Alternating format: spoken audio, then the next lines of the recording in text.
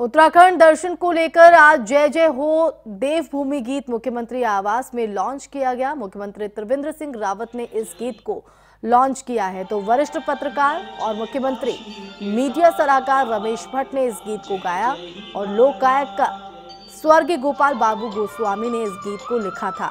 इस मौके पर मुख्यमंत्री त्रिवेंद्र सिंह रावत के अलावा विधानसभा अध्यक्ष प्रेमचंद अग्रवाल, बीजेपी प्रदेश अध्यक्ष और सांसद अजय भट्ट, विधायक मुन्ना सिंह चौहान, दिलीप रावत समेत कई वरिष्ठ कलाकार भी मौजूद रहे। मुख्यमंत्री ने भी अपने मीडिया सलाहकार के इस प्रयास की सराहना की है और कहा है कि इस गाने को छह मिनट के गाने में प्रयास किया गया है ताकि संपूर्ण उत्तराखंड को जाना जा सके।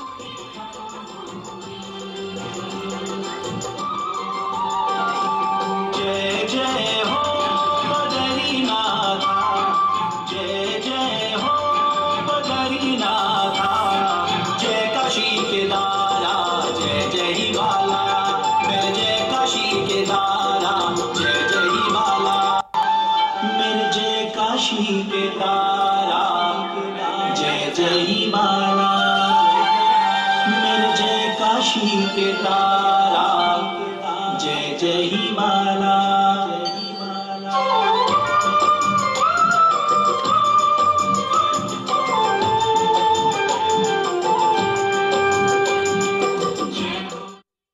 बधाई दूँगा मैं अपने मीडिया सलाहकार रमेश भट्ट जी को। जी। उन्होंने छः मिनट के इस गीत में पूरे उत्तराखंड को समाने की कोशिश की है।